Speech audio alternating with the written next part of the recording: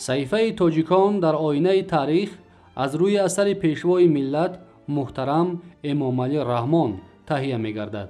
تاریخ را برای آن می آموزیم که از سرگذشت پر افتخار و عبرتآموز نیاگان آگاه شویم.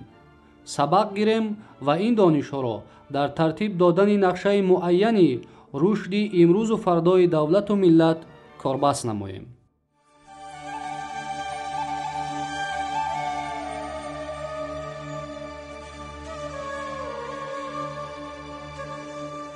саҳифаи тоҷикон дар оинаи таърихро аз мавзӯи бохтару суғд гаҳвораи нахустдавлати тоҷикон идома медиҳем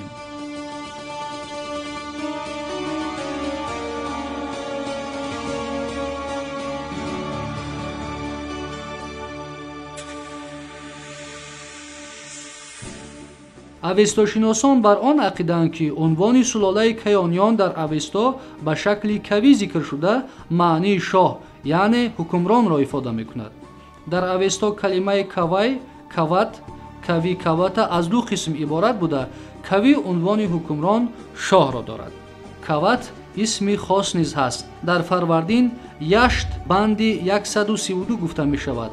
Дар ин банд хонаводаи кейқубот дар шудааст аммо мо намедонем ки апива ковус ораш пашин ва ваёраш ки писарони қубот буданд ҳамаашон подшоҳӣ кардаанд ё ни подшоҳони сулолаи кайёниён мувофиқи маълумоти сарчашмаҳои таърихӣ бохтар ва балхро қароргоҳи салтанати худ пазируфтанд алахусус ин қаламрав дар давраи подшоҳии лӯҳросп ва гуштосп хеле ободу пуршукӯҳ мегардад Дар китоби ибни балхӣ омадааст ки подшоҳи аввали сулолаи кайёниён кейқубод мамлакатро ба вилояту шаҳристонҳо тақсим намуда як ушр даҳяк андоз бар ғаллаҳо ниҳод то сарфи лашкар кунад.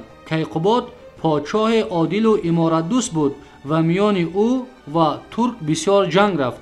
Аммо ҳеҷ зафар бар ориёи нажодҳо наёфтанд ва мақоми бештарин дар канори ҷайҳун ому ва ободониҳо доштӣ ки наздики ҷайҳун аст ба аъмоли балх. Баъд аз сари кейқубод набираи ӯ кейковус подшоҳӣ бигирифт ва мақом ба балх кард. Аз баҳри рафъи турк ва ҳеҷ касро ки ба душманӣ шинохт зинда нагузошт. Ва ҳангомаҳои лашкаркашии кейковус аз бохтару балх сар шуда то паҳноҳои суғду хоразм ва бобулу яман тӯл мекашад. Ҳангоми муҳорибаҳо дар ҳудуди яман малики он зулаъзор лашкари кейковусро шикаст дод ва худи ӯро асир гирифта. Дар чоҳе маҳбус сохт. Рустами достон лашкар кашида ба яман рафт ва кейковусро раҳонид. Кейковус бар подоши ин хидмат рустамро аз бандагӣ озод кард ва систону зобулистон ба вай дод. Одат чунон будӣ ба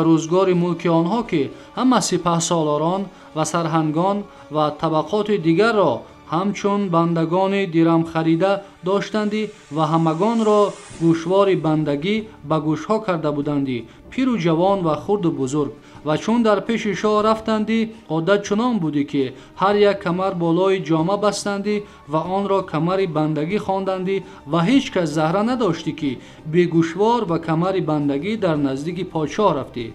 و چون رستم این خدمت پسندیده بکرد کیکاووس او را آزاد کرد و گوشوار و کمر بندگی از گوش و میانی او دور گرداند و تشریف های نیکو داد و نواخت ها فرمود سپس متن آزادنامه رستم ذکر شده است که برای آموختن رسم و رسوم و آین پادشاهی کیانیان مواد جالب است پسر کیکاووس سیاووش از آوان کودکی تحت سرپرستی و تربیت رستم بوده беҳтарин фазилатҳои инсонӣ сифатҳои паҳлавонӣ майдондориву разму набарди мардонаро аз ӯ омӯхтааст агар домани ривояти сиёвушро мухтасар намуда мувофиқи маълумоти сарчашмаҳои адабию таърихӣ алалхусус таърихи бухорои надшахӣ таърихи табарии балъамӣ муруҷу заҳаби масъудӣ ва шоҳномаи фирдавсӣ оварем ӯ чун шахси далеру зебо ва поктинат гирифтори туҳмату беадолатиҳо мегардад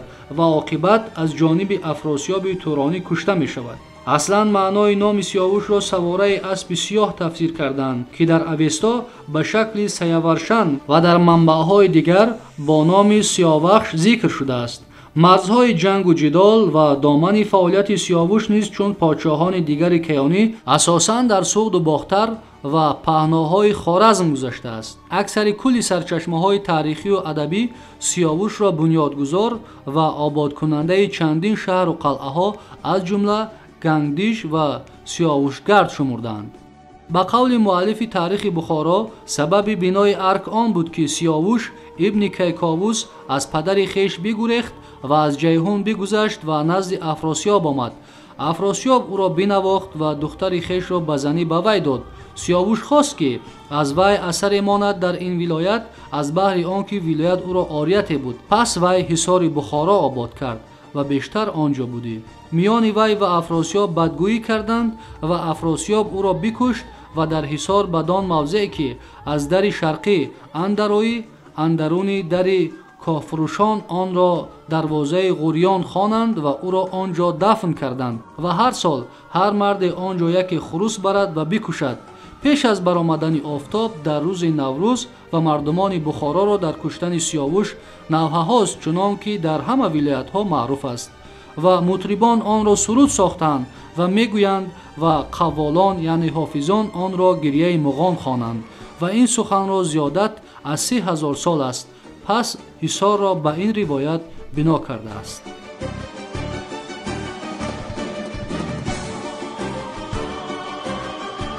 صحیفه تاجیکان در آینه تاریخ در موضوع باختر و سوخت گهواره نخست دولت تاجیکان ادامه دارد.